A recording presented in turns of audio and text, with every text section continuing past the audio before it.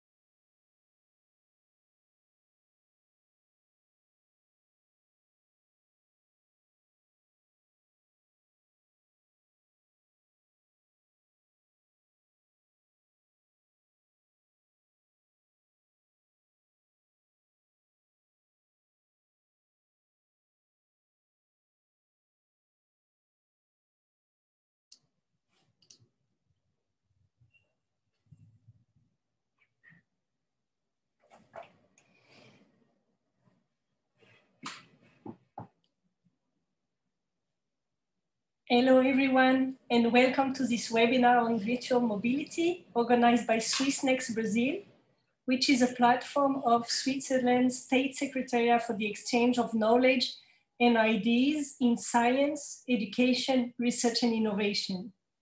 It's organized in partnership with Oikos International, a student-led organization focusing on empowering students to transform economics and management education. This webinar is enabled by Movetia, Swiss Agency for Exchange and Mobility. My name is Charlotte. I represent Euraxess in Latin America and the Caribbean. Euraxess is a European Commission initiative promoting researchers' mobility. I'll be your moderator today, and I have practical information for you. For the Portuguese speaking audience, Para ouvir a tradução simultânea do webinar em português, vocês podem clicar no globo que aparece na, em, na barra inferior da tela do Zoom, certo? You will receive a recorded version of this webinar in a follow-up email in the coming days. It will also be available on SwissNext Brazil's YouTube channel within one or two weeks. Please, if you have any question, uh, type them in the Q&A section of Zoom mentioning your name and country and to whom your question is addressed. Well, welcome to the audience who has just joined this webinar on virtual mobility initiatives and best practices.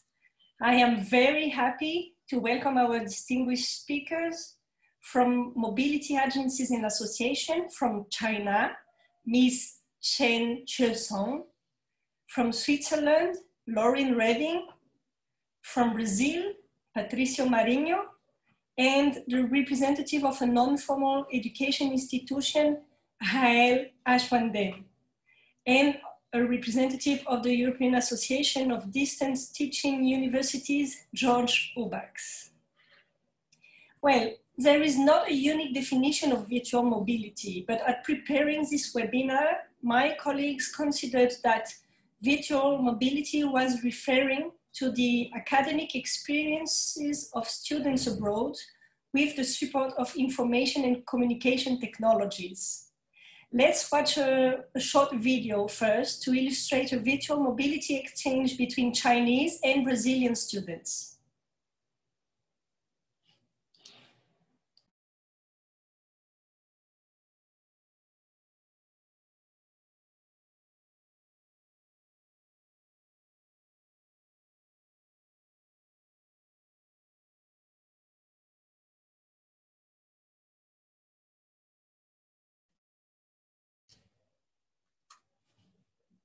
So maybe we can watch the movie in a minute.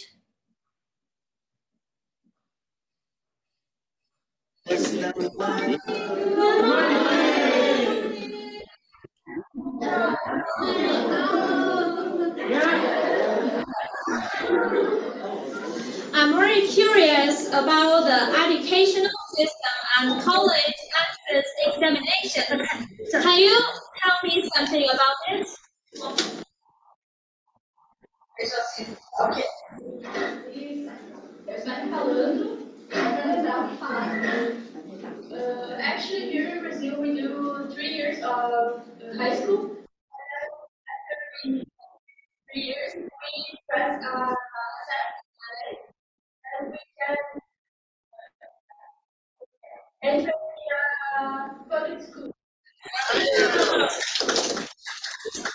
Okay. So I uh, I want to ask you guys something about social media.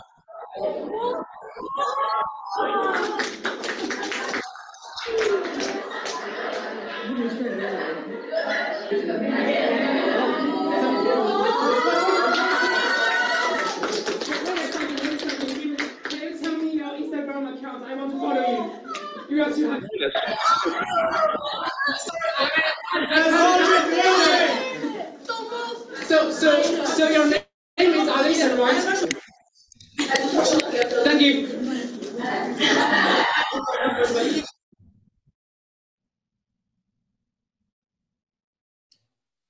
Thank you. It looks like it was a lot of fun. Um, the benefits of distance learning are, are, undeniable, even more in the current situation when physical mobility suffered a dramatic slowdown, right? But mobility is a much wider experience uh, than only distance learning. And this is the topic that we want to address in the first part of this webinar. How can ICT bring solutions to ensure that virtual um, students get benefits of mobility, such as experiencing international university life, collaborating with students from other countries, networking, etc. Well, time has come to invite our distinguished speakers to share their institution's relevant projects and initiatives on digital mobility. I would like to start with George Ubachs, the Managing Director of EADTU, the European Association of Distance Teaching Universities. George, the floor is yours. Yeah, thank you very much, uh, Charlotte. I hope you can hear me well. Um, yeah, I'm uh, uh, just a short introduction. EADTU, the European Association of Distance Teaching Universities, is actually covering um, 25 countries in Europe and a total of more than 200 universities working with online, open, flexible education and virtual mobility is one of our main uh, topics to work on. I'm going to share my screen now for a moment for my presentation. Is it uh, visible for you this way? I hope so, because I, I can't see the, the Zoom uh, meeting anymore, but uh, I will go by the slides. Um, yeah, so uh, what we have done is uh, we are active in this field for more than 10 years now. Sorry, dear George, we can't see your slides for now. Yeah, you can see it? Okay. Um, we cannot, George. No, we cannot, sorry. Okay, uh, let me check. Otherwise, you have to do it via your system. Can also do it for you.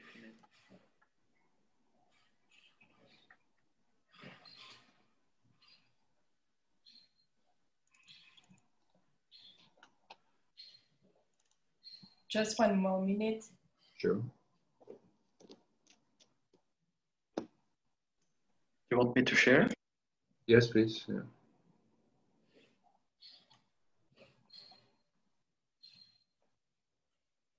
The only test we didn't do was sharing my screen. Now it's live. You Thanks. can go ahead. Thanks. Um, okay, yeah, so please, uh, next slide. The, um, what we have done within ETU uh, is working for more than 10 years now within um, uh, the topic of virtual mobility. Um, next, please, because I can't change it. Yeah. And um, uh, what you see is our two publications of uh, last year that we have uh, published uh, as we were focusing on this. Is that one is about the um, all the well theoretical approaches on, on um, and comparing mobility schemes of physical mobility, virtual mobility, distance education, and so on in one document. That's the right document on your right, and the left document is the outcome of our uh, task force on virtual mobility. And we have started this 10 years ago already, but then uh, in Europe, the, the feeling was about virtual mobility um, being kind of a second uh, best alternative for physical mobility. As I would like to show to you also today, that this is really a complete different um, a concept that is more supplementary to physical mobility rather than replacing it. Uh, we have been uh, taking part and leading several European projects on virtual mobility, and we are happy to see that in, um, in many of the European calls for university cooperation, virtual mobility is now uh, actually part and formalized by the European Commission. Um, next, please. Um, like I said, we had uh, a task force, and here we only want to show you the, how many different universities are involved here, as well as some um, highly uh, reputative um, networks of the um, uh, European universities. Uh, they all represent uh, different examples.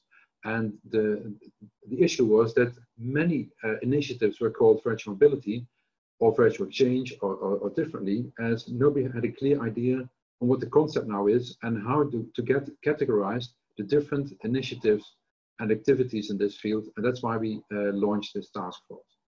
And next, please. Um, the main task, uh, task that we covered under this task force was to collect good practices within and outside our membership, uh, map new developments in the field of virtual mobility, and also see how virtual mobility can stimulate European university networks it's the, the latest new thing within universities in, in Europe that the European Commission is funding uh, networks of universities working together in, in, uh, in coordinated actions of offerings to students and organizing ability between students and staff. So it's a really uh, highly relevant topic uh, in Europe at this moment. Next, please. Um, to uh, the publication that I showed in, in one of the first slides, was then uh, uh, first tested, our outcomes were first uh, tested and discussed also in a broader audience of other stakeholders. So not only the universities, but also broader university networks, public authorities, and agencies that are uh, responsible for student uh, exchange to come to a, uh, well, I think a full overview of what is happening in Europe. And I'm now going to talk to, to you about more about the theoretical background of this, the framework. Next, please. Um, well, the positioning of virtual mobility uh, in the past was, well, we have a rich program of physical mobility by the Erasmus uh, mobility program in Europe. Uh, then we had network programs. Uh, this is all physical mobility, uh, joint degrees, embedded mobility for staff, all uh, physical mobility. But the European Commission started funding virtual mobility by initiatives for some, some five, six years ago. And, and now it's really integrated in, in the European um, uh, programs for, for universities. And next, please. Here you see the theoretical background of it. So we're talking about virtual mobility. Um, it's about creating proximity involvement of potentially all students. Uh, at this moment, it's only a, a, small percentage of students that, is, that has the ability to have uh, uh, physical mobility. And by using new media, social software, we create uh, better accessibility interactivity and, and um, uh, between universities and exchange of students.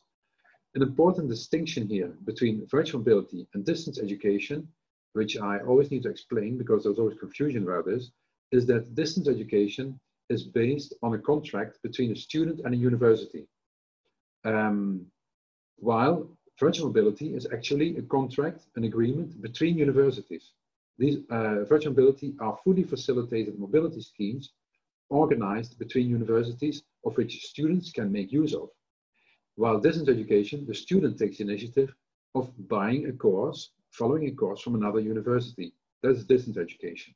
So we're talking about the, the bilateral agreements and the collaboration between universities of facilitating mobility for their students. And uh, in that uh, context, they, they also make sure it's pre-assessed, uh, the programs are coherent, um, and so on. So that is, um, uh, and also the assessment is done at the home university of the student. Even as a student follows a course at a different university, uh, the, the, other university um, sends the, the, um, the tests to the university of the student and there the student uh, does the examination. Uh, yeah, next please um, elements of organizing mobility in, uh, uh, in collaboration between universities. We have we've done within another project, NetCU, Network Curricula. You see that you have to, when you collaborate with other universities, you have to think about all these in, in the blue blocks um, to have agreements on. on the uh, administrative aspects, the complementarity of content, how do you work within community, uh, QA processes. So these are all the elements when you start working uh, together with another university that you need to cover. Yeah, next please. Um, the definition that is used in virtual mobility by the European Commission in their calls is a set of activities supported by information and communication technologies, including e-learning that realize or facilitate international collaborative experience in the context of teaching, training, and learning. Next, please. The main um, main element here is that it is an international academic experience. That is the, the, the core goal. It's always related to a formal course and um, based on bilateral agreements guaranteeing the rights of the student. So it is, it is for the student like taking a course from its own university, but then from another university with, the same rights, the, the same guarantees. Yeah, next please. Um, the basic principle behind it is that you can organize um, learning and teaching by offering it face-to-face, online, and in a blended mode. Uh, that is also what we're going to, what we are doing within mobility. Uh, next, please. Um, in mobility, you can have physical mobility, you can have fully online virtual mobility, and you can have a mix of that. that that's what we call blended mobility. Uh, they can strengthen each other by having uh, subsequently uh, virtual mobility, access to another university, then visit the university and stay in touch uh, later on uh, in a virtual uh, sense again. So that is, these are the options in mobility. Next, please. What you see here, when, when you put them next to each other, you see that when you are typically for physical mobility, it is short term as well as long term. But short term is at least three months. It, it is funded by the European Commission on the basis of having an exchange for at least three months. As online and blended mobility can also be an afternoon, for example, eh, that you, uh, or several days to follow a course of being um, involved in a peer group of students um, somewhere else. So that's a big difference. Um, physical mobility is by definition synchronous. You are at that university meeting the other students as online mobility can be asynchronous. Eh? It's, um, you can, you can uh, uh, work with uh, looking back at videos and so on. Uh, and typical for physical mobility is that you visit one campus. As with online mobility, you can have a range of universities, a multiple uh, uh, series of universities that you can can visit to build your own um, curriculum, so to say, to build your own program. Next, please. Um, yeah, and then uh, here you see four categories that we have identified based on the um, examples that we mapped within Europe you have mobility that is part of a course, uh, so that, that, within a course, uh, the course is enriched by a short visit online to another university, meeting other students, for example, or other programs. The second one is actually the, the, the classic exchange that a student uh, visits another university, but now virtually.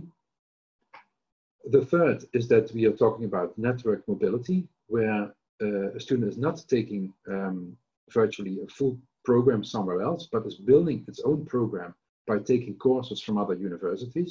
So windows uh, of mobility. And the fourth um, format is that you have integrated mobility in joint curricula. Then it is mandatory to follow uh, programs from different universities in a series to get your degree, to get your, your, um, your program together. So these are the four distinguished uh, formats of offering mobility. Yeah, next please. Um, that also means that you have to organize this differently. So here we have these four formats um, uh, next to each other.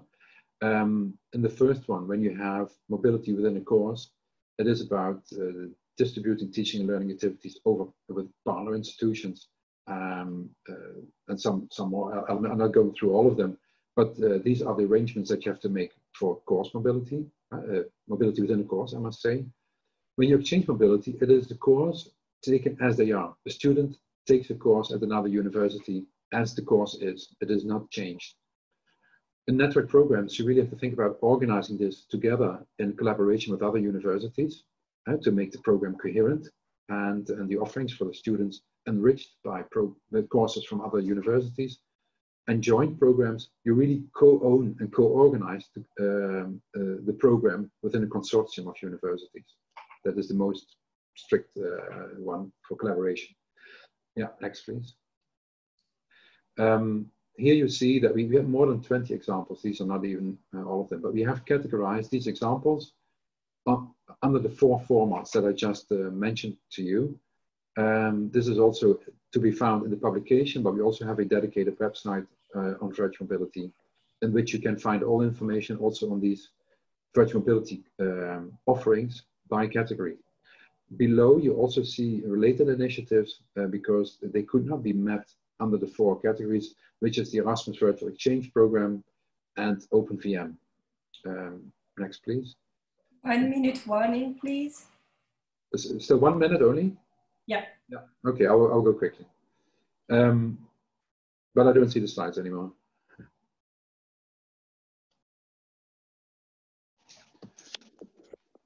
Uh, yeah. Yeah, so um, yeah, we were at the at the examples, and then we can skip this one, and we can skip the next one because yeah, this we can skip, and this one skip. Then uh, I just want to uh, close with uh, what we have identified here as, as uh, what I said is different from physical mobility.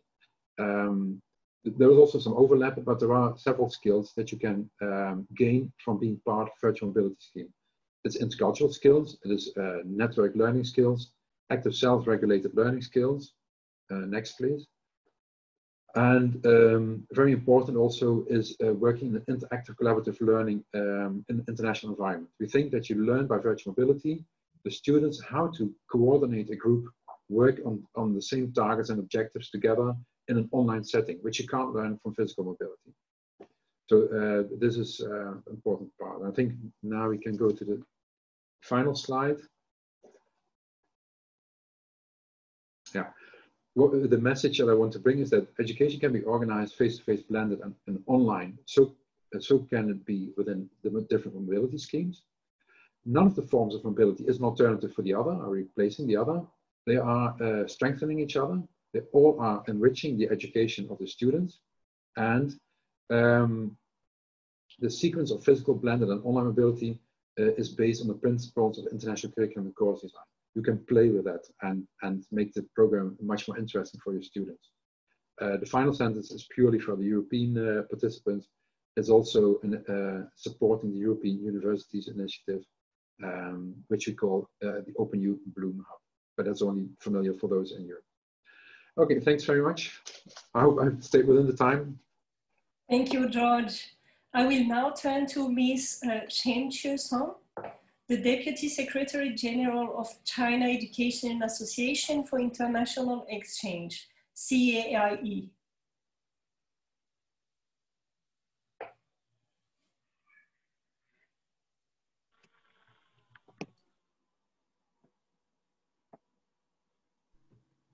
Thank you, Charlotte. Good day, everyone. I hope you are all safe and healthy. Thanks very much for inviting me to participate in today's webinar, allowing me to share Chinese practices and learn from others. I believe the dialogue will benefit our work and enrich future cooperation. The mission of my organization is to promote mutual understanding, learning, and cooperation between China and the rest of the world in the fields of education, science, and culture. As a window and a bridge towards the world, we connect people by establishing bilateral and multilateral platforms and participating in global governance.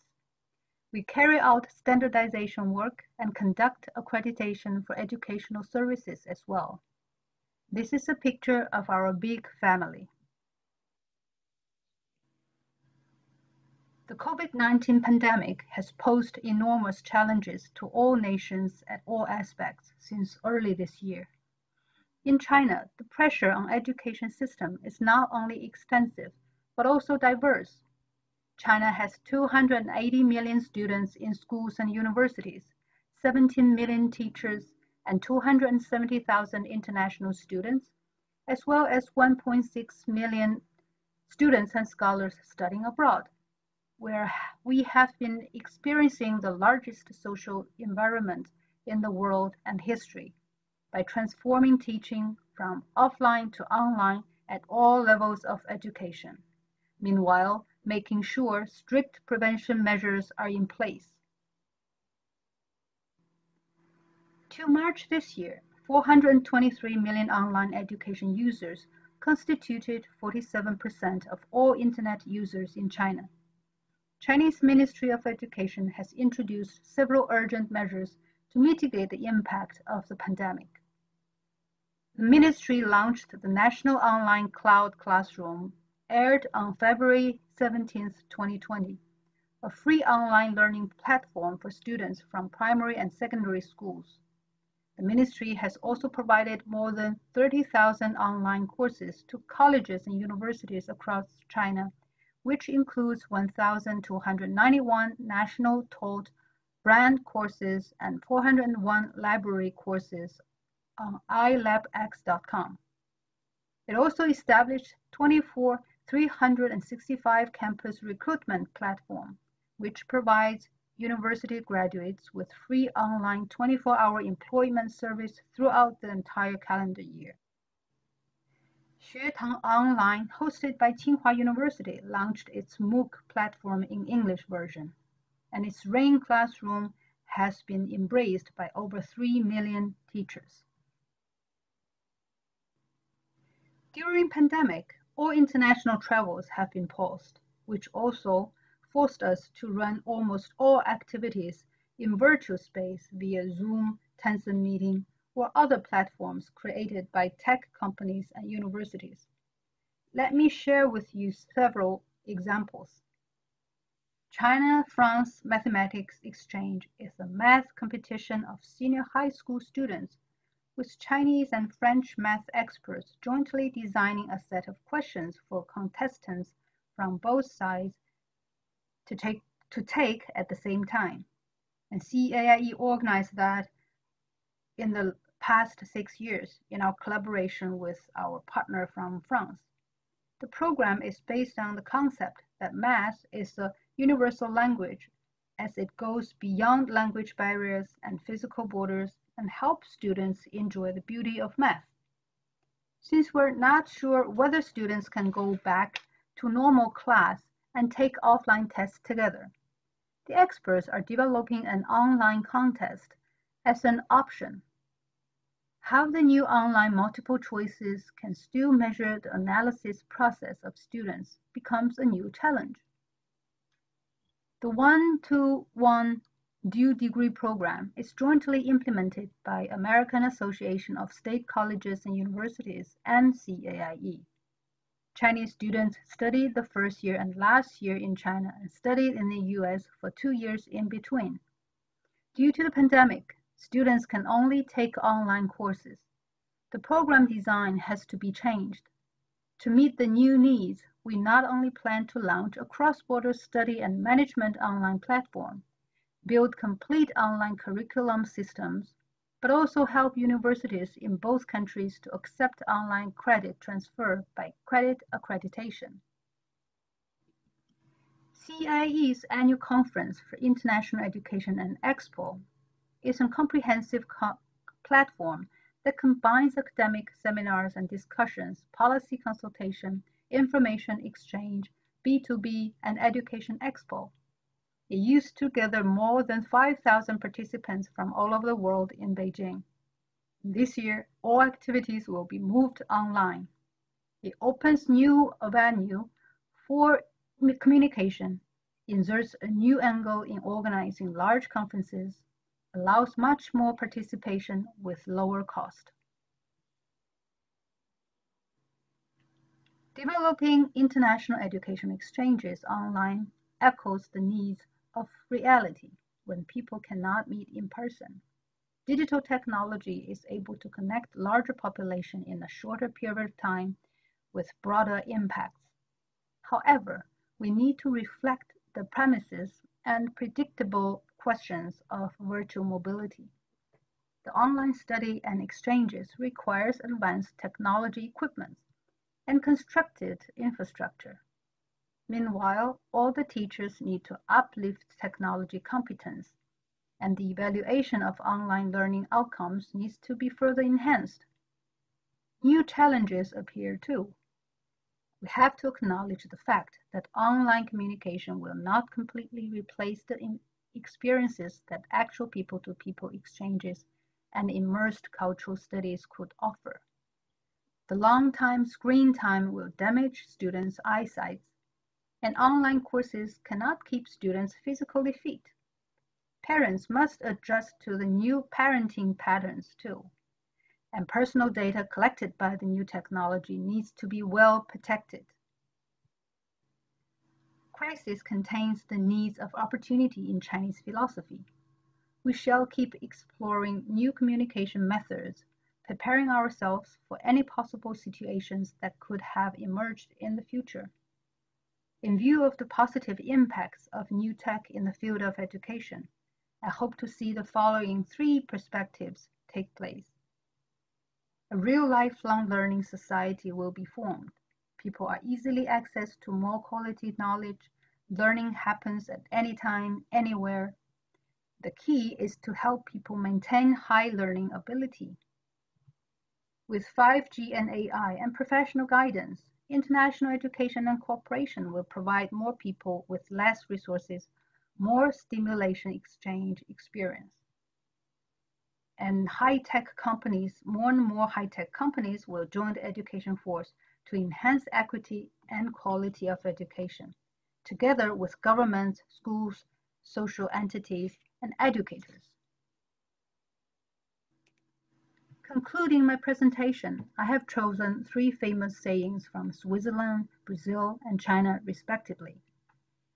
Swiss philosopher Henri Frederick Amiel said, Life touches us to push back the tides that threats to engulf us. A saying from Brazil means good will makes the path shorter. And the Chinese saying says, if there's a will, there's a way no matter how far apart we are, as long as we stand with each other, we will embark on a journey to a brighter future. Thank you very much and stay well and safe. Thank you. Thank you for your insights.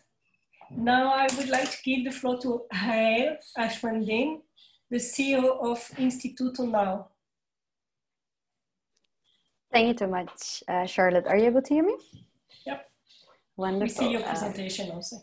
Thank you. It's a pleasure to be here. Uh, so my name is Rahel Ashwand and I'm based between Switzerland and Brazil. So também falo português if anybody wants to reach out at later point. And I'm a co-founder of two organizations which in the end um, works very close together, one based in Switzerland and one in Brazil. And we are uh, focusing on learning design usually in the non-formal uh, setting, but we also work with some universities in Brazil. And our main focus areas are competence-based and personalized learning, virtual programs that create true connections. So it's really about bringing people together to learn from each other and develop competences. And we put a very uh, strong point on being inclusive and bringing truly diverse people together in our programs. And We do that on the now side, so the Swiss side, usually through our own programs. And I'm going to share a couple of examples with you in a second.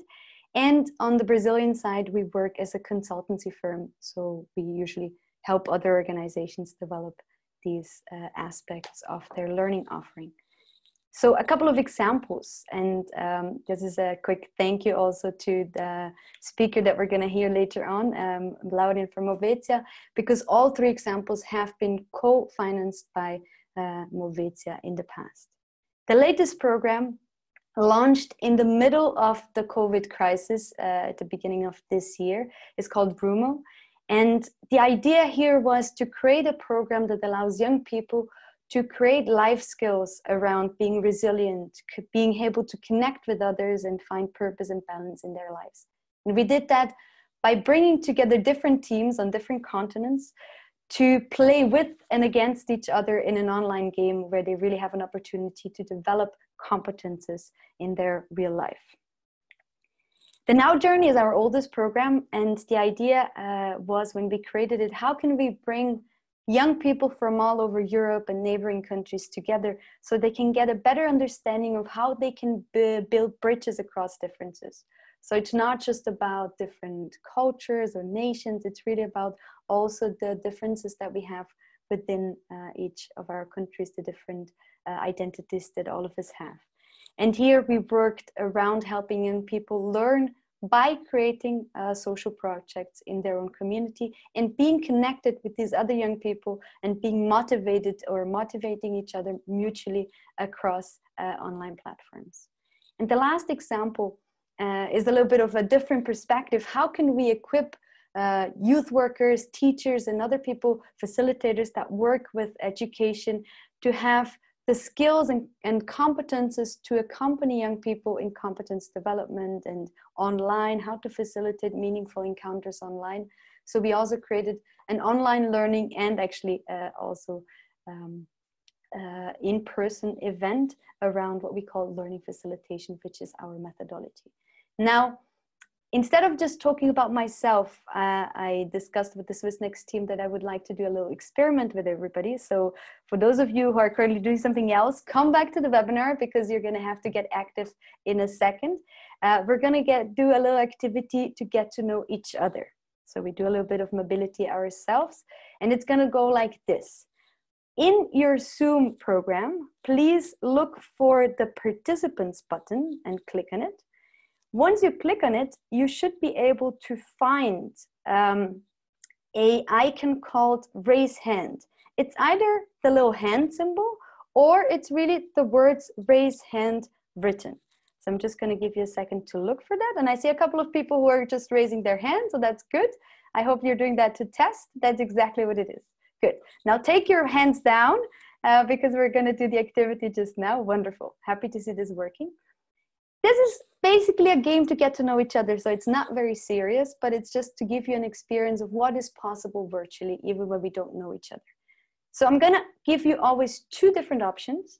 And I'm gonna ask you to raise your hand when the option that you prefer uh, appears. All right, let's just try it out with an example. I think that's gonna be easier. And once your option disappears, please take uh, your hand down again. All right, test example. Are you more of a still water person or a sparkling water person? Okay, so these are the two options. And I really hope that all of you are not a buying bottled water person, of course, but that's not the question. So, still water against sparkling water. And those of you who are a still water person, please raise your hand now. So let's just give it a second. And now my possibility to see what's what is going on has quickly disappeared, but maybe it's a, one of the Swissnex people could tell us uh, what's the count for uh, still water or Charlotte in case you're able to see it. I would say half half. It's half half. Well, this was just the purified water. So let's see if the other people were, uh, oh. were are going to vote for sparkling water. So who are the sparkling water people among you? 21 people for now. All right, I see Marcelo is, is in the count. So who is the winner among these two options, Marcelo? Still or sparkling? Still, I guess. Still water, all right. So those of you who like still water, you know that there's a lot of people in this meeting right now who are just like you. Now, this webinar is about mobility. So I'm gonna ask a very personal question about when you travel, which is are you a person who takes pictures of the landscape and and buildings or are you a selfie stick kind of person? All right so let's see. Um, again first the votes for raise your hand for taking pictures of buildings and landscape. 35 40 14 42 42 42 oh wow. That's a lot of people. Great. And who is a selfie stick selfie person? Let's see if they can 19. beat 40 16 all right. I think that's not going to work out right? So the not definitely not a selfie crowd right here. All right. I think i have one I have two more. The first one is another fun one. Are you a one alarm and I'm getting up person or I set myself three alarms just to be on the safe side. Let's see, uh, raise your hand for just one alarm. That's, that's enough. One alarm 20, 23, 24, Mhm. 26, 7, 8, 9, 28. Wow, Quite a number. good. Then let's see, raise your hand for I need at least three alarms or I snooze. I think the snoozers are also in this group. Ooh, only 25. 27. All right. I like the honesty. Everybody who's raising their hand right now, I really like the honest answer. Good. Marcelo, who won in the end? In the alarm category? Uh, I guess is the one alarm. Oh, Wonderful. Good. I guess. Before uh, closing my contribution or my uh, presentation initially, I just want to ask one last question, which will connect back to my, my second contribution to this webinar, which is, are you looking especially towards virtual mobility because you believe it's a way to connect people? Or are you on the side of, no, you want to provide learning for your participants? I know this is not an exclusive uh, question, but try to decide on which one you uh, value more. So let's see for connection.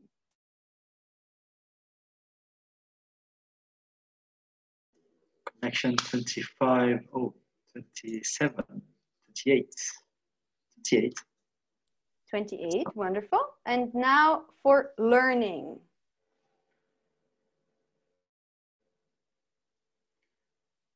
23, 23.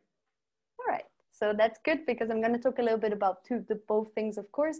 But in my own opinion, um, the learning really happens when we can uh, bring people together in an authentic way. And I'm going to talk more about that later on. So thank you so much for playing along and having this very tiny insight of what is possible when we use technology in a way to connect people.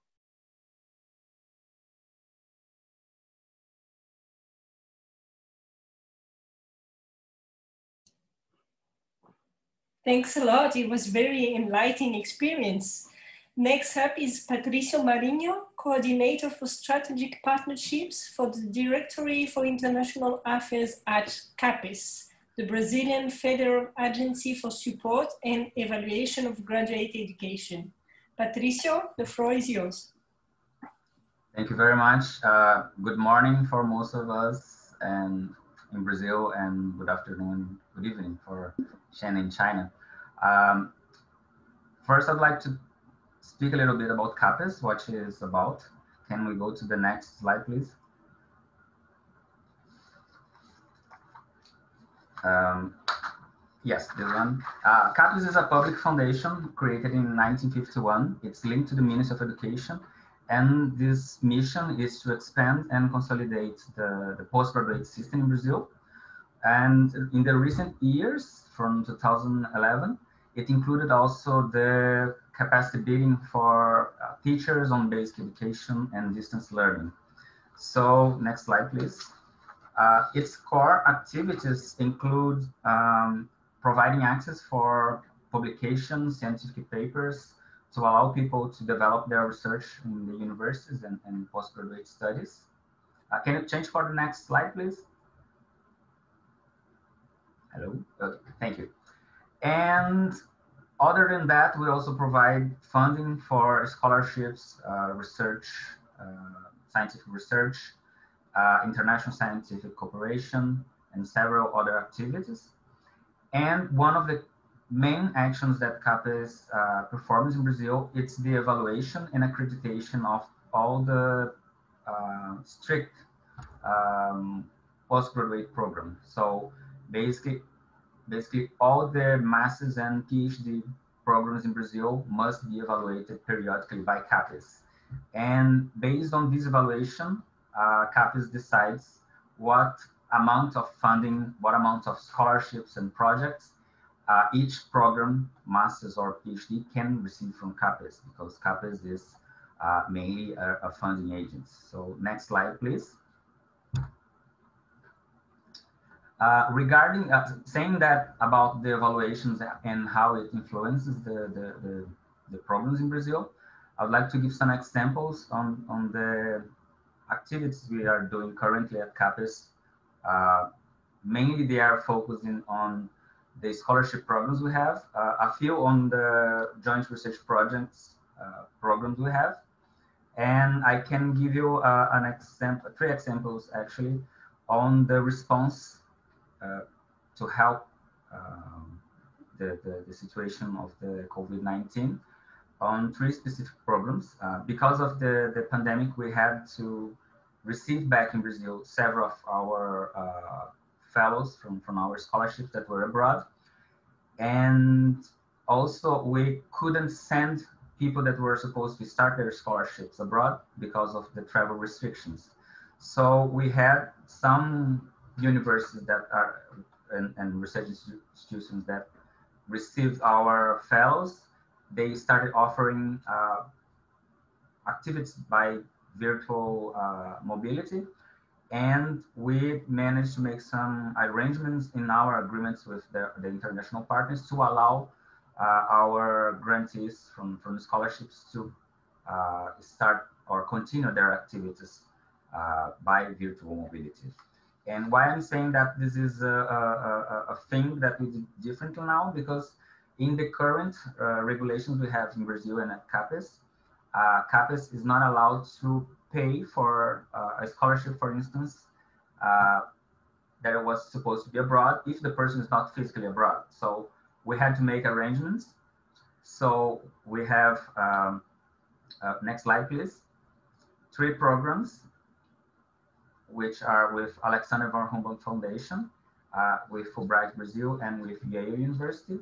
And with these three uh, uh, programs, we made arrangements so if the students or researchers got, got the chance to start or continue their activities uh, virtually, uh, the partners abroad would pay for the, the, the, researchers to perform their activities because CAPES was not allowed to do that, is not allowed to do that in this situation.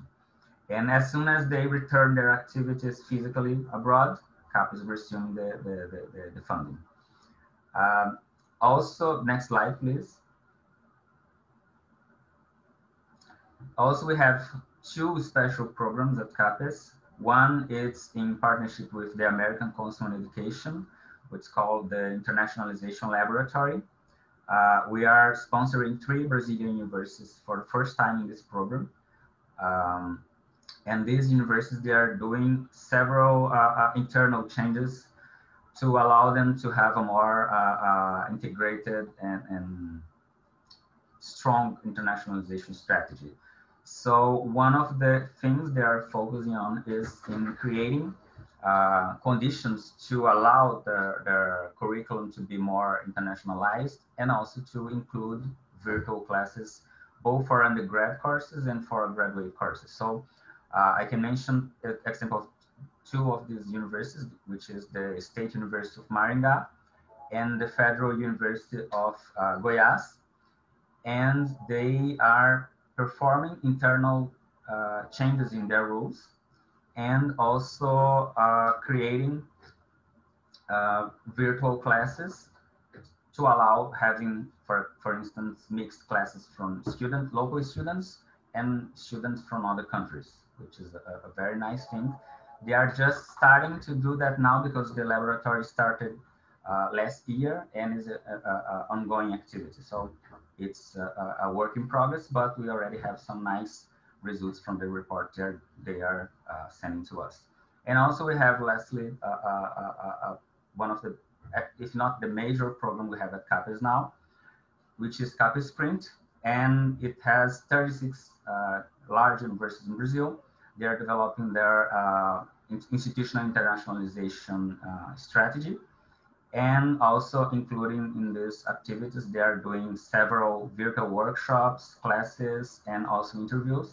And one of the nice things is that uh, the incentives CAPES gives to this program is to help them and, to, to stimulate them to create uh, an environment that gives uh, free access to science. So most of the, the, the, classes they are doing online or interviews with specialists, they are putting on platforms uh, they are uh, for free access. So it's a, nice thing that we, we want the, the, all the production to be possible, uh, pos made possible to access for everyone, not only the communities in, in those universities, but also to anyone that wants to have access to the knowledge. Next slide, please. I, I, I think I was a little quick on my presentation, and if you have any questions, uh, feel free to, to ask. And um, also, if you have questions, you can uh, send directly to my email, which is in the next slide. And thank you very much for your time. Thank you, Patricio. No problem in being quick, better than the contrary. Thanks a lot for your presentation. I would like to invite our last speakers for the speaker for this uh, first module, Lauren Redding, the project, who is project coordinator at Movetia, the Swiss Agency for Exchange and Mobility.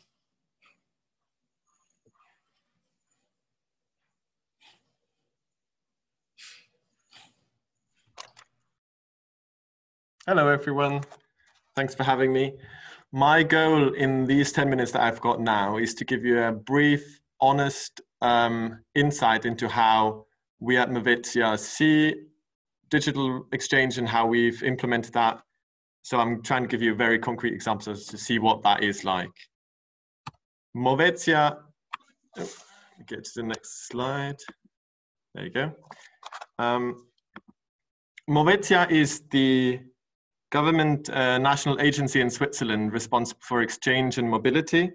So we are funded by the government and by the cantons um, to, to implement that. Our vision, actually the vision of Switzerland that we are working towards achieving is that every single young person will, um, as part of their education, once in their lifetime be able to do uh, an exchange or a mobility um, abroad or, or internally as well. So that's what we're trying to achieve. And, and we do that by, by providing grants, by giving advice and consulting to all sorts of institutions of education and, uh, and um, by, uh, um, um, by working with schools in extracurricular, by linking up different institutions and sort of foster that collaboration. We do that um, we've heard a lot about higher education in the last few presentations. Um, so we also support higher education institutions, but we enclose, um, uh, we have a broad understanding of education that includes all, all um, wakes of life. So that diversity gives us the opportunity to fund um, uh, exchange and mobility of primary schools, secondary schools, um, in vocational education and training, uh, which is a big uh, important sector in Switzerland as well. Also in the extracurricular, as in the out, out of school work, in youth work, we try to support more um, exchange mobility um, and uh, going all the way up to, as you can see on that slide, to adult education, um, etc. So we really try to have that diverse um, picture and, and support exchange mobility and all of it. Um, the whole spectrum also includes uh, all different levels. So we support exchange mobility within Switzerland. You can see a map of, of, uh, of the country here with the different linguistic regions. So this is a, a chance we have that we want to use. So we, we uh, foster exchange between the different linguistic parts, but also going broader in Europe, we support exchange. So that there you have the, the whole Erasmus program that we link up to as well, and also globally. Uh, I'm going to spoke, speak a bit more about that um, in a bit. Now, Movetia and digital mobility. So the first thing that we had, that we offered, was a project called Alp Connectar. As the, uh, as the name says, so the idea of this um, project that was set up by different university of, of teacher training was to link up different primary schools in the mountainous regions of Switzerland. And by doing that with a blended mobility project. So they did also connect, but they had the chance to use software and digital tools that we provided, um, including including uh, uh, pre-designed classes, lessons they could use with, with their pupils to connect these different um, mountainous schools with each other. So that was the first approach we had to, to blended mobility within, within our, our, our offer. Um, in the meantime, this project has been restructured and, and has been part of a bigger approach to, to virtual mobility. Another thing we did was to provide uh, software, uh, so free software and, and advice to schools and other institutions of education on how to do um, virtual exchange and digital mobility. So you can see the different, uh, some of the tools we provide. So you have Skype for Business, which has now become Teams, that we provided them for free. We have a cloud storage called uh, Storebox, that's the top right picture, um, that we offer them for, for to exchange uh, documents, etc.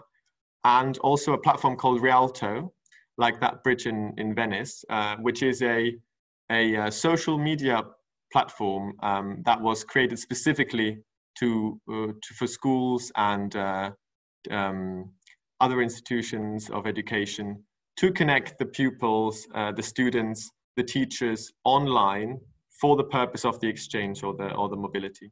So these are the things that we offer for free. We offer a, a webinar as well for um, teachers uh, um, and youth workers, etc., to uh, give them tips on, on how to how to implement a, a, digital or virtual exchange or a blended mobility where, where that is a part of it. The last thing that was actually a big moment for us was when we went global, as is Movetia goes worldwide. So since 2018, we've got a, a project called the International Pilot Program, where we support um, and fund specific initiatives that have a strong innovation aspect and connect partners around the globe with Switzerland. So um, as Rahel mentioned earlier, the, the Arumo project that, that they are implementing was part of, was funded as part of this program that connected uh, Brazil, Switzerland, and, and other places. Um, we have also school exchanges that took place uh, in, a, in a blended way between Switzerland and Namibia. We had uh, vocational education where we sent young entrepreneurs from Switzerland to China to meet with, uh, with um, students there and to, to learn about uh, uh, how they how uh, how the different um, sites do their training and the, and the entrepreneurship aspect as well. And um, I also wanted to mention actually yeah that this this webinar that we're all part of now is part of a bigger project by Oikos, uh, this student organization, and uh, Swissnex that is also funded uh, as part of this program called uh, the International Pilot Project. So in some ways, um, all of you listening here are participants in a, in a virtual exchange program that, um, that we support. In higher education, it, it took a, also a specific form that was possible with digital mobility. So you can see on this picture, students from, from um, Switzerland, from the University of Applied Sciences in Zurich. Um, you have students from the um, Universidad Federal de Grande Dourados in Brazil, and also from the University of Agricultural Science in Bangalore in India. And they all came together um, as part of a virtual summer school that, uh, that was about tackling climate change through global learning. So together, um, during a few weeks, they worked on concrete initiatives to tackle climate change and also to, to learn to find new ways of collaborating virtually together. Uh, so this is another example that was possible um, in the last few years that, that we supported in the digital mobility field. Um, here I put one quote as well, one of the, some of the few words that I added to my presentation from a participant from Brazil in this project who says, I firmly believe this course through its interdisciplinary and multicultural character improved my critical thinking in addition to allowing me to interact and exchange experiences with researchers and other students from different countries. So we, we think this is actually quite a successful program and, and we hope that more and more of these initiatives will come up. Then uh, in Europe, we are located in center of Europe, um, linked to Erasmus, as I said. Then 2020 happened, um, as, as all of you also uh, um, spoke about, and I'm sure we've experienced in, in different ways. Um, we summarized this with this little picture here where we said we do not want to have the little coronavirus there at the bottom to be our exchange partner. Uh, we said no to that, and of course that meant that a lot of our projects had to be either uh, were cancelled that we supported or were postponed to next year, um, given the uncertainty surrounding international travel. But I'm mentioning this here particularly because because uh, um, it gave us the opportunity that wasn't possible before to instead of cancelling some of the exchange projects, we moved them online our partners decided that that would be an opportunity. So I want to show you some examples of, of how that was possible in, in, um, in our way. So we had, of course, in the Erasmus, so these are two students that we uh, supported. Um, they had to do virtual learning that was mentioned before, so I won't go into much more detail here. Um, about the European um, Commission statistics says that about half of all students continued their exchange semesters just uh, following their classes virtually. Um, in the extracurricular field, in the youth sector, for example, there's a project uh, by the youth organization Les Coccinelles in Switzerland that did a ecographics training course online um, where they learned about how to use digital recording for sustainability. So that was meant to take place in, in, uh, in uh, Switzerland, as you can see uh, in this picture. That's what is was supposed to be with students, uh, youth workers from, from about 10 different countries in, in Europe coming together.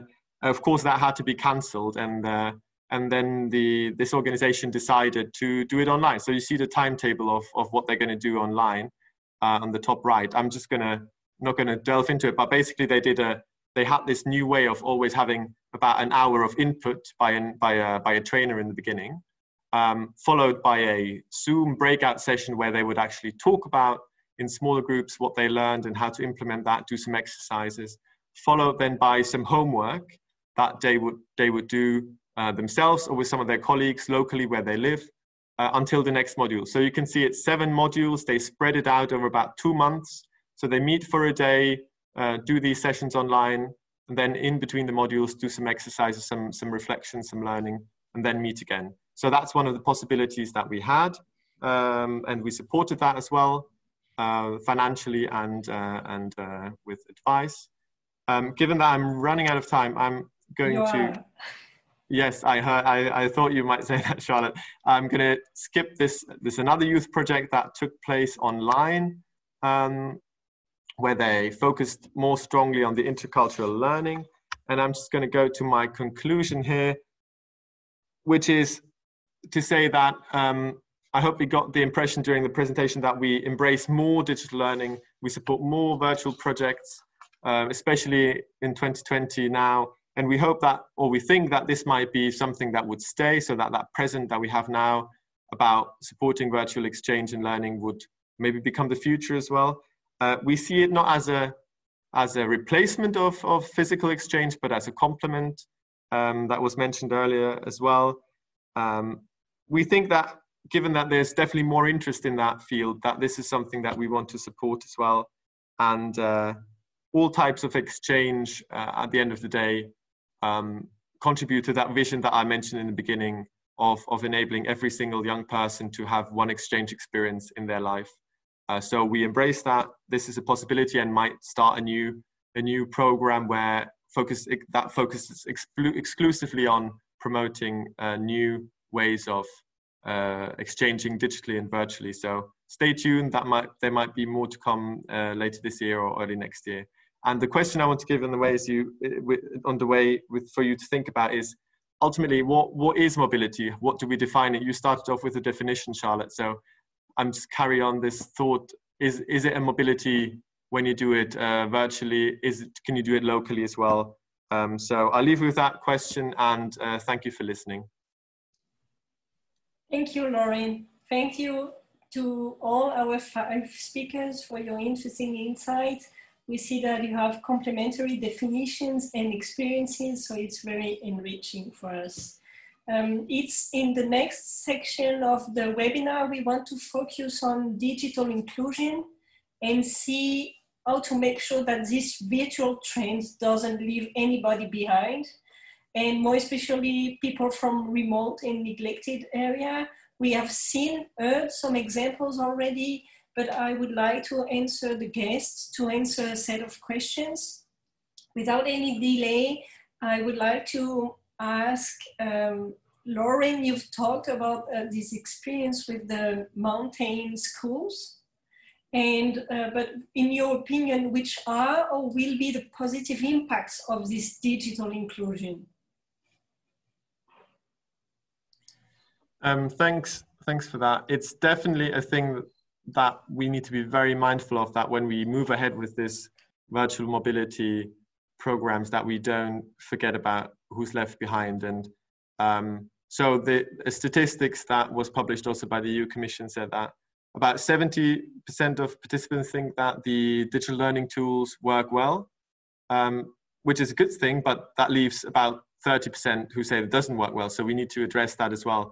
But when it works, um, and to answer your question, I think that the big advantage is that it is, is that it can accelerate, it can add, bring new people into the field of exchange and enable more people to be able to go abroad in, in a virtual way or in a blended way even, um, that were not, that couldn't do that before.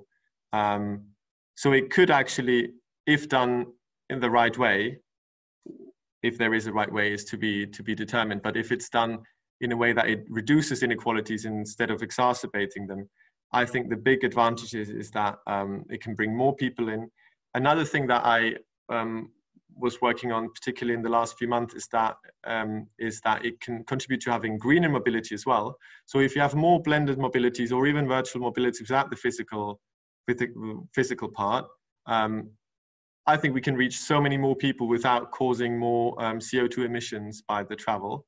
So I think that's an aspect not to be forgotten as well, um, that it can be a huge advantage in that regard as well.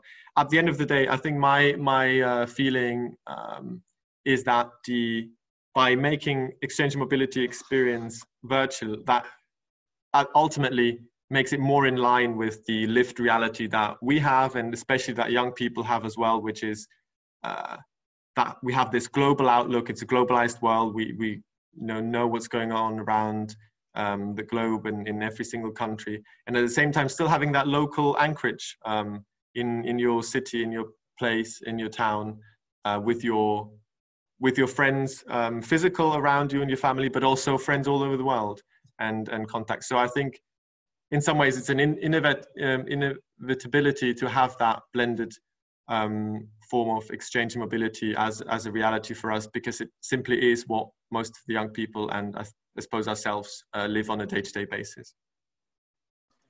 Thank you, Lauren. I saw hand agreeing on many of the, the points that you raised. Do, would you like to, to complete or add something? Yes, I, I was definitely agreeing with Lauren um, in the sense of we moved towards virtual before um, before COVID because we started questioning ourselves how much is it really important to put people on a plane to have a certain experience and how much can we make that without the negative uh, environmental impact. And i think the inclusion part is a yes and a no and i think lauren also said that very nicely. On the one hand it's an opportunity and on the other hand there's so many things that can go wrong when we do an exchange virtually uh, that we have to be very careful. That starts with people who have a disability that we need to be very careful what platforms and tools we use. Um, it continues with um, access in terms of really technology. Uh, I remember one experience of ours from Rumo was that people who had an older cell phone, it's not always just about internet, people who had an older cell phone could not install the program on their phone. So we have to be also uh, aware of that. And lastly, and I think that's also very prominent right now with so many people being at home and in homeschooling parents but also right parents looking after the smaller children and older students there is also a strong element of privilege how much people are comfortable in sitting in front of the screen if they have a room where they can actually you know be privately and be authentically themselves while attending these kinds of uh, learning opportunities. If they feel comfortable online if they had had the experiences before you know to speak up in, in, in an online setting etc etc so there's so many things that we need to we need to design for right we need to design for inclusion it's not going to happen just because we put it online i think that's important thank you uh, miss Shen Xuesong, I heard that you may have some uh, interesting ex experiences in the rural areas of China. If you would like to share with the audience. Yeah, I would be happy to share uh, one uh, project that we are doing now. Um, in China, every uh, subject teacher from uh, primary and secondary, they need to have uh, 550 hours in-service training uh, as a must to enhance their uh, abilities. So, um, you know, we have a large area in uh, remote and rural areas, and uh, we, uh, in the past uh, more than 30 years, we uh, are helping the English teachers in rural areas to enhance their capacities um, in terms of the requirement for their in-service training. Uh, we call this project uh, like hand-in-hand -hand summer training programs for the uh, English teachers um, in rural areas. Um, the, the main elements for the training is uh, enhance their language proficiency, uh, uh, teaching methodology, and enhance their intercultural understanding, as well as help them to prepare lessons for the next academic year. Um, this is our sort of a routine uh, work, uh, but uh, uh due to the pandemic this year, uh, it's not allow us to uh, allocate. We used to um, allocate international volunteers during their summertime to do their volunteer teaching, who are from English as their native language. So this year it's difficult for us to allocate uh, international volunteers again and force us to put everything online now. So we happen to uh, find out uh, the best teacher uh, university, Beijing Normal University. They have the excellent English department. So they agreed to work with us. Um, I, I, think they um, mobilized more than 30 Chinese professors, including uh, American teachers to move all these training on online. And it's also helped us to enlarge the, uh, the trainees pool. And this year we finished 1,000 um, English teachers in rural areas from primary to secondary from uh, eight counties of uh, four uh, Western uh, regions. So by doing that, we, we, we realized that it gives us a, a huge potential because they not only listen to the big classes lectures given by the, uh, the professors, they also have group discussions, the peer discussions. And they also are asked to finish their uh, assignment online and submit it online. And all the Q&A sessions are freely and online. And in the past, the, the summer training program only lasted two weeks, but this time we extended to six months. So one week intensive training and then for the following half a year, these professors and tutors will be online to help them uh, to answer any questions and they can also discuss with peers when they prepare lessons. So um, we hope with the technology, we could put all uh, more qualified and quality materials, learning materials online and uh, and also uh, reach uh, famous professors, experts in, in English teacher training. And also, I think uh, we could also reduce uh, the past sort of logistic arrangements mm-hmm. and save more time to uh, have larger uh, impact. So this is a quite a new experience for us. And I think we are going to continue not only in the English subject, uh, this, uh, to turn the um, face-to-face um, -face, uh, training up to online in the future, but also maybe in the future we find an other subject matters um, experts, and then we can expand the impact to more rural um, areas. And by the way, I'm sharing uh, very exciting news. Um, this is our last year of 13th uh, five-year plan. And there's a goal of this five-year plan is to uh, alleviate all the people living out of poverty. And the, by the end of this year, we're going to reach that goal, which means uh, there will be 800, 850 million people living out of poverty uh, over the last 40 years. And this is a, a, a big achievement. And we've always believed that education is a tool for people to change their uh, future. And also the, the teacher education is also the fundamental, helping uh, students to receive quality education. So we're going to do that. Uh, we're also Thank exciting you. about it, but we're going to continue to um, give more support to the rural um, um, areas and hope uh, we could find sustainable way to keep the program going. And thank you. I'm sure you will. Thanks a lot. George, may I ask you, uh, in your opinion, which are the biggest barriers to virtual mobility, especially in regards to digital inclusion?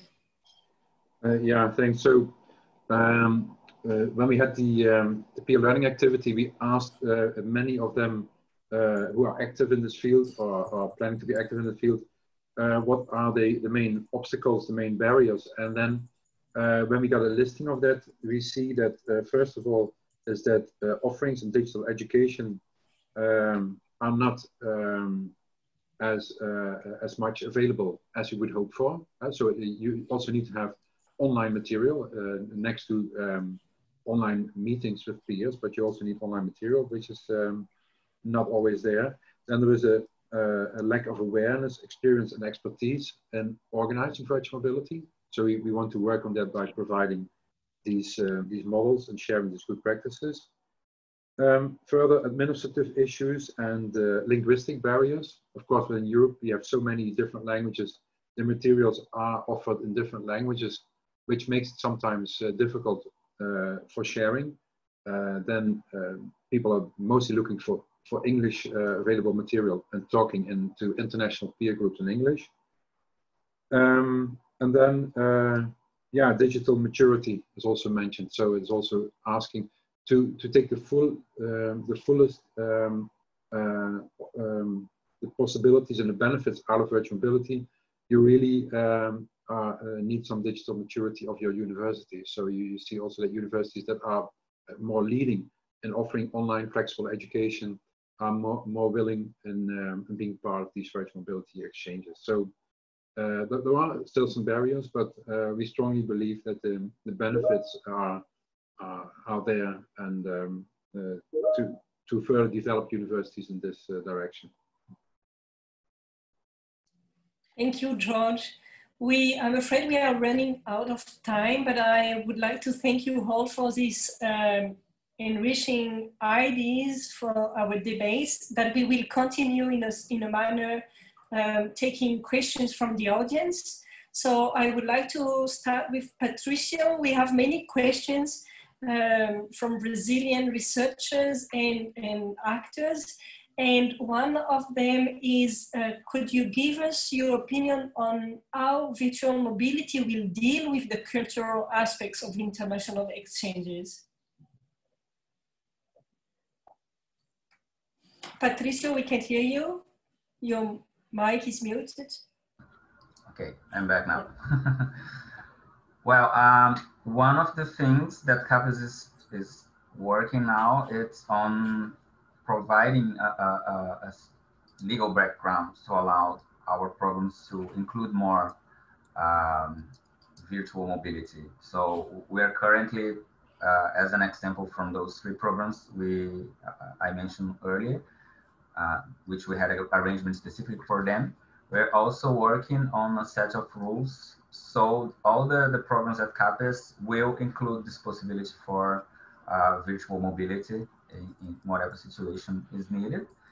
And in this way, we hope to increase the, the, the, the, the amount of um, activities done as a, a internationalization at home uh, structure which includes also the, the virtual classes, uh, uh, virtual mobility. Uh, one of strat the strategies that CAPES think on applying in, in, in, in, the next activities, it's use internationalization at home, uh, virtual classes and virtual mobility as a way to prepare people uh, before, uh, still in Brazil, before they are going abroad for the actual in-person mobility, which is also something that we desire. But uh, past experience from, from past programs like Science Without Borders, that was very large, uh, taught us that if we are going to send everyone uh, abroad before they get the, the even the language skills, uh, that's going to cost a lot of money. It's not going to be uh, uh, an effective use of public funding, which because CAPES is a, a public foundation uh, paid by the taxpayers. And one of the strategies that we have now is to optimize the way that people do things, uh, uh, uh, the way they prepare before they go abroad. So we want to have them as ready as possible so they when they go abroad it's actually to do something that's going to be relevant for their careers or for and also for the country because uh, the, the last goal of CAPES is to provide conditions for improvement of people in Brazil and they can uh, improve our country. Thank you. Thank, thank you, Patricio. Um, also, do, do you know if any of the universities participating in PrInt program, for example, or even if CAPES has established a program, a virtual mobility program? Um, the, the program, uh, is uh, a program that is very wide. Uh, the university have a lot of autonomy to decide what they can do uh, uh, in, in, their strategies. So uh, I'm I, I know there are some universities they have uh, um, partnership with other universities and they already have like a, a co-curriculum which in which they have joint classes doing especially now i'm sure they're uh, doing some classes for uh, through virtual mobility I, I know that the State University of Rio de Janeiro has some examples of that I think one of the links I put in my presentation points to one of the activities done by the, this university on YouTube. Thank you. Um, we have also general questions that each of you can uh, address when you are answering all the questions, for example, and probably mostly for the Chinese and Brazilian speakers, but what are the challenges uh, related to implementing virtual mobility at a continental level? And um, but I, I, would like to start uh, to continue asking Rahel. Uh, could you tell me please about your assessments for personalized learning in virtual mobility? Yes, very happy to talk about that. So uh, assessing the development of competences in our case or what people actually learn in a program that happens virtually is even harder i would say than if it happens offline right it's really hard to put the finger on what exactly you develop when you go abroad uh, in, in the classical student exchange. People would say well i made a lot of friends and and uh, it changed me uh, uh completely. So we started looking at it in translating this into specific competences. So you know friendships can translate to being better in creating uh, inter uh, connections between people being better to communicate having more empathy etc etc and today we try to really translate that into the virtual world as well so we try to be able to uh, help other organizations in mapping out which competences are really being fostered in a virtual exchange program and we have developed a tool which is called the Now app, which helps in really measuring the competences and comparing uh, and tracking this development. And it's especially something which we find relevant, yes, for the organizations, but especially also for the learners, so that they understand how is this impacting me, and it gives them an opportunity and a motivation to engage more, to really take their exercises serious, etc., because they understand what they're getting back from this which I think sometimes is a little bit abstract. So it has been quite a successful tool for us in the past. Thank you, Rahel. Another question that all of you can address when responding is the language uh, barrier, how to overcome it when adopting virtual mobility, but it's just an idea for you to keep it in mind. Um, Ms. Shen, I would like to ask you, um, from, we have this question from Marcelo Maia from Brazil, who is um, asking if you could tell us more on the One Classroom initiative to promote virtual mobility at senior high school level, to embark a larger population. Oh, yes, I'll be happy to uh, share the thoughts on that. Um, one classroom project is a, uh, project that, I, that we worked with AFS intercultural programs. Uh, this is a program uh, that has been uh, over 70 years uh, history and more than 60 countries are country partners uh, of that program. So based on that framework, big framework, we, we are partner of AFS program. we propose and initiate a one classroom project in collaboration with um, around 13 partner countries. So uh, the, uh, for instance, Argentina, um, uh, Australia, Brazil, India, Japan, Philippines, and etc. So uh, basically, uh, the, the partner country can produce uh, video clips and put it on the platform. So the other uh, partners on the, the, same platform can share and use it. Uh, that's one uh, format of, of exchange. The other uh, format of exchange is like the, uh, the first short video that you showed at the beginning of, of, of our webinar. It's a uh, real-time live um, streaming and students were talking about culture, educational uh, system, uh, the food, uh, and also sports. Uh, and they also choose um, common interest topics, for instance, related to SDG as well. So there are various kinds of topics. By doing that, we bring uh, the students um, to share and then to understand this is to try to understand the, the different ways of living, different ways of thinking, and also at the same time appreciate the, the diverse culture. I think people realize that we live in the same on the same continent, but we same time at the same time face some common challenges. So we need to communicate. We will find uh, solutions all together. So this is a um, sort of a very good practices uh, also helping not only students, but also teachers to uh, have these uh, intercultural understanding competencies. Um, because in nature, no, I mean, before the, the pandemic, the, uh, the, the main format of exchange of AFS intercultural programs are exchange high school students to another country and hosted by host families. And they, they the students go to local schools and make new friends for 10 months and then they come back.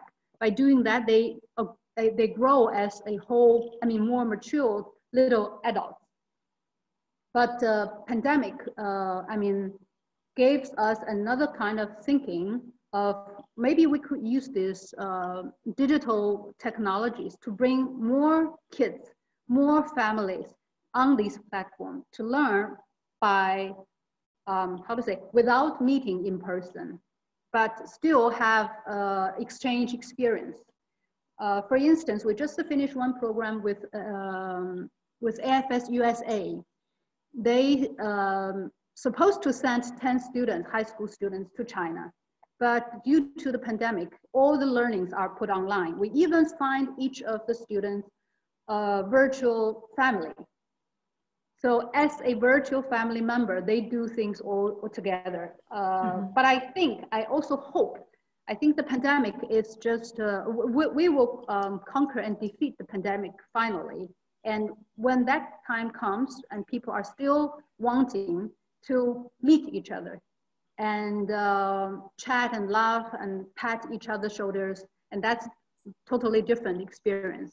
But um, this is also a new way. I mean, um, to bring more people at lower cost, uh, as some um, previous speaker mentioned, and it's also environmental friendly. And I think this is also a, a future trend. Undeniable, right?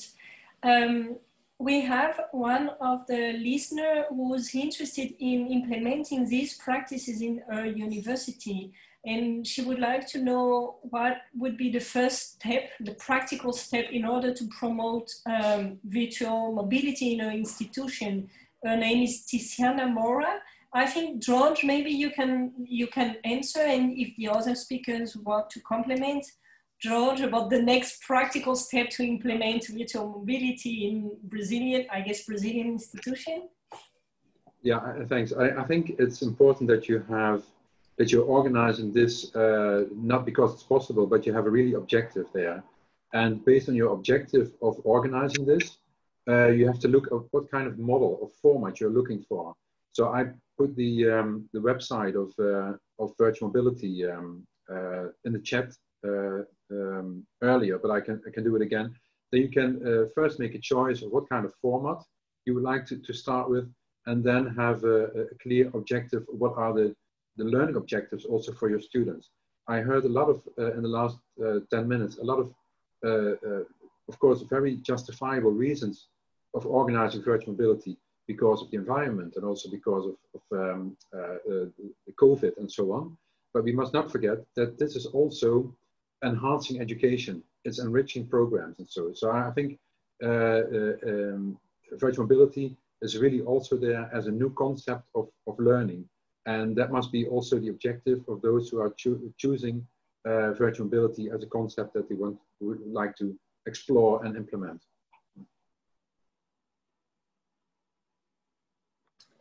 Thank you, George. If anybody wants to complete, otherwise I have tons of other questions for you. I'm just going to add very, very shortly. I'm even going to share my screen here because it makes it easier. Um, we at Instituto Now have just put together a very short list of best practices that we believe are useful for virtual mobility, and we're going to summarize them on our blog very soon. So, for those of you who speak Portuguese, feel free to uh, keep posted there and read up on what these different five things here mean. Uh, I've touched on most of them at some point of, of what I was talked about, but I think there's more for you to discover, and we try to make it really hands on so you can uh, implement it uh, in your own organizations. Thank you. I'm sure it's going to help Tiziana a lot. Um, it, it, do you know? Yes, please go ahead. Uh, I would like to, uh, because I, I, I know that we're running out of time, I want to share one, uh, a book. It's uh, an old book. It's, uh, uh, I think the, the, the, the lead expert is called Monsieur Jacques Delors from France. And it was written in late 1990s. It's called uh, Learning the Treasure Within.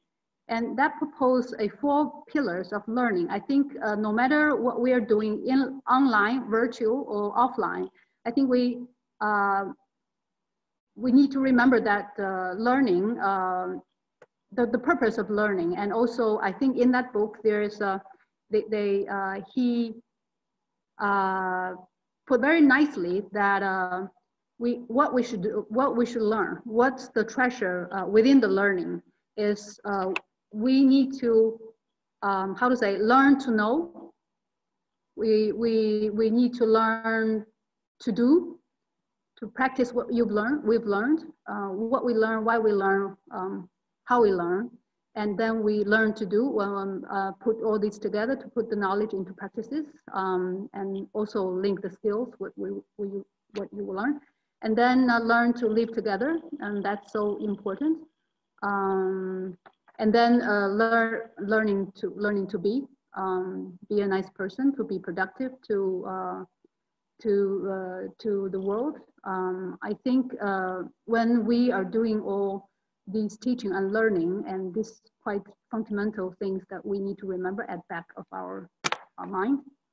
That's what I want to share with uh, with colleagues and and also uh, when the pandemic is over, uh, we here in China welcome all of you to visit us.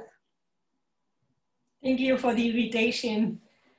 And thank you also for uh, going back to the um, sense of education and what we want to achieve before implementing such virtual mobility programs. Anybody wants to complement?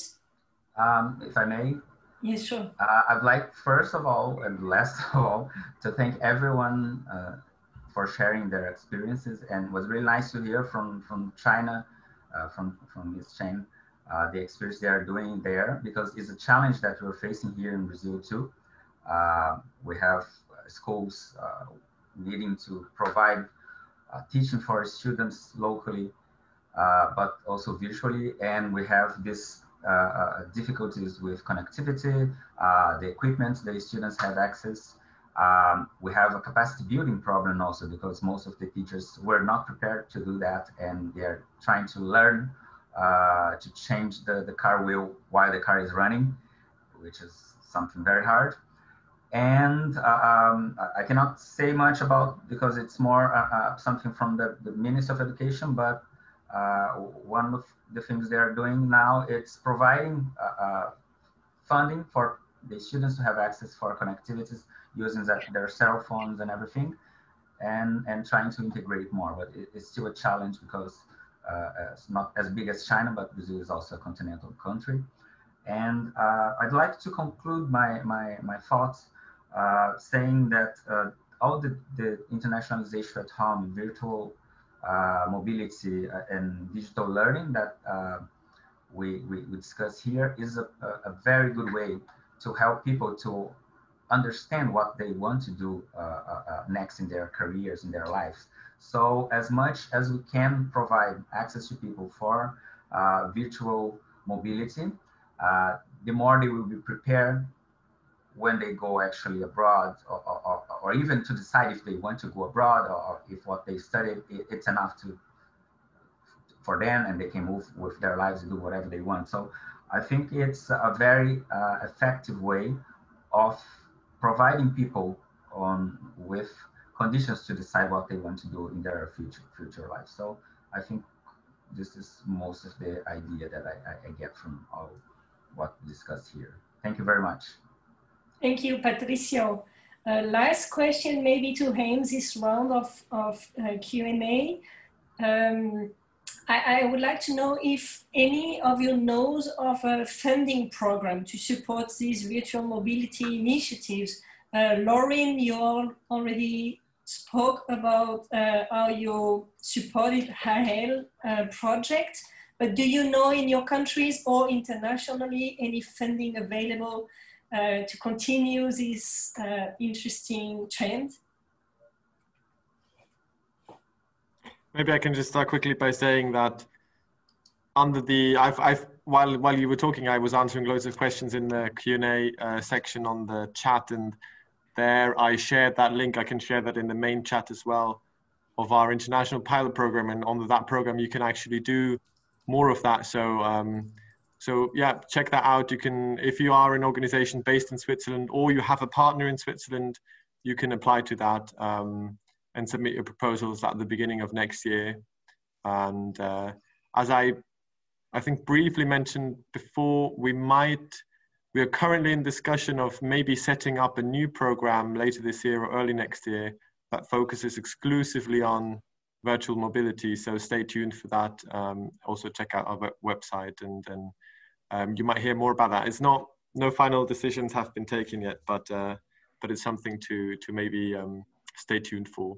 So that's I think for Switzerland that's probably the best uh, the best address to go to.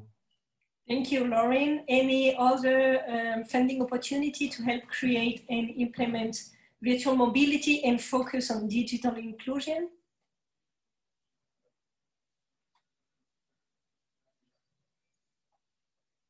So this is um, a topic that we will uh, pass on to the funding agencies, I guess. Thank you a lot to everybody for your participation. Thanks to the, to the audience for these interesting questions also that you, you shared. I would like to thank the presenters for their time and expertise. It, it was really an, interesting and enlightening to hear you. Thanks the audience for tuning in. Also, if you want to experience a worldwide virtual mobility experience, check out and participate in the next Oikos and Swissnex uh, upcoming events that you see on your screen called Next Gen Lead. Have a nice day and a nice evening, everybody. Thank you very much, Charlotte, for um, sharing this. And thank you for colleagues sharing your ideas and practices. Thank you. Thank you. I'm here, I'm waiting to welcome you. Have thank a good you, I also, I also extend the invitation to Brazil for everyone and thank you very much for, for your time and your expertise. It was very good experience for me. Thank you. Thank you. Bye. Bye-bye.